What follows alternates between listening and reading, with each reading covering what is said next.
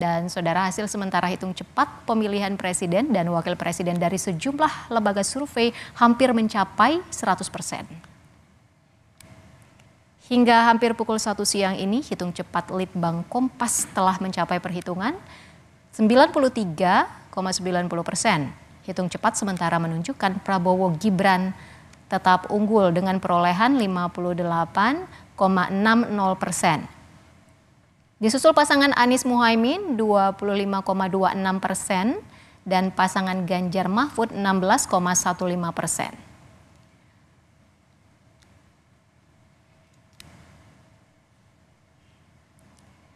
Sementara hingga pukul 13.15 waktu Indonesia Barat siang ini, hitung cepat carta politika telah mencapai lebih dari 98 persen dengan hasil Prabowo Gibran memperoleh 57,79 persen, sedangkan Anies Muhaimin mendapat 25,70 persen, dan di urutan ketiga Ganjar Mahfud dengan 16,50 persen.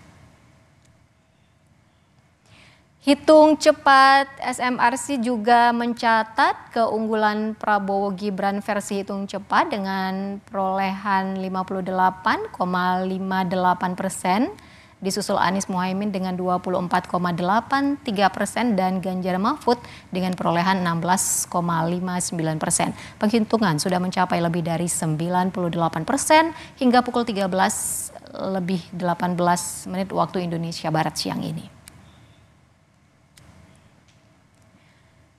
Saudara hitung cepat sementara indikator politik Indonesia Kamis dini hari telah menyelesaikan penghitungan lebih dari 97 persen.